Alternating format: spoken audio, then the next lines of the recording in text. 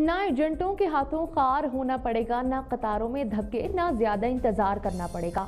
Passport بنوانے یا اس کی تجدید کے لیے اب آن لائن بکنگ کرائی جا سکے گی۔ محکمہ پاسپورٹ اینڈ امیگریشن نے پریمیا سروس شروع کرنے کا فیصلہ کر لیا ہے۔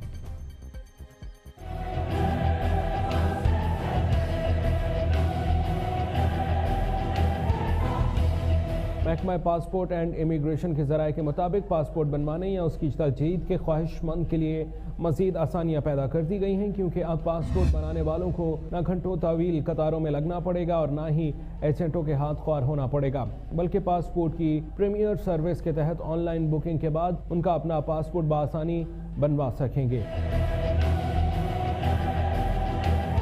مشین ریڈیبل پاسپورٹ بنانے کے لیے آن لائن بکنگ کے بعد پاسپورٹ کے حصول کے خواہش مند کو ان کی مرضی کے مطابق وقت دیا جائے گا۔ جس وقت کی بکنگ ہوگی، پاسپورٹ بنوانے والے کو اس وقت پر وہاں پہنچنا لازمی ہوگا۔ اگر کسی وجہ سے کچھ تاخیر یا منسوخ کروانا ہو، تو فوری آن لائن پریمیئر سروس کو آگاہ کرنا پڑے گا۔